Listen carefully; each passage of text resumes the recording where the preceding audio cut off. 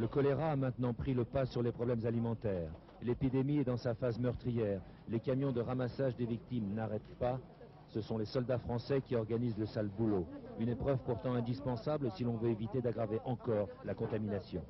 C'est décourageant parce que tous les jours on ramasse des corps, il y en a, il y en a autant qui reviennent le lendemain. hein.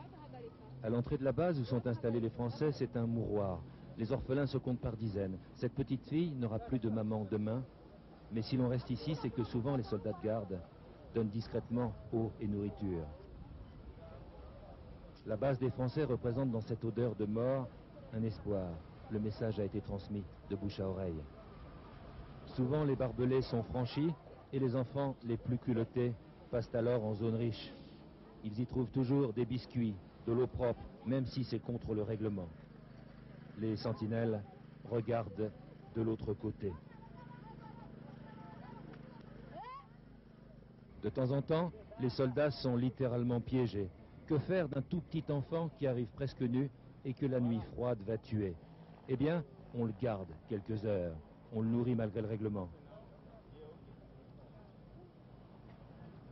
Il arrive qu'on craque, même quand on mesure 1m90, qu'on pèse 120 kg et que l'on est du 6e régiment étranger du génie. Ces enfants-là seront sans doute préservés. L'un avec le pull du capitaine, l'autre le t-shirt d'un journaliste, un autre avec une couverture qui les a préservés du froid. Comment t'appelles-tu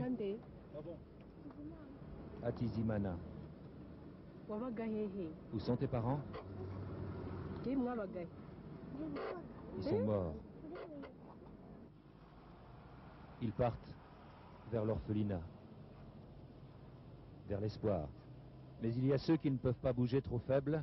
Normalement, on ne prend ici que des blessés, mais ça n'est pas toujours le cas. L'un d'eux a par exemple été retrouvé au milieu des morts. Celui-ci à deux pas de la base.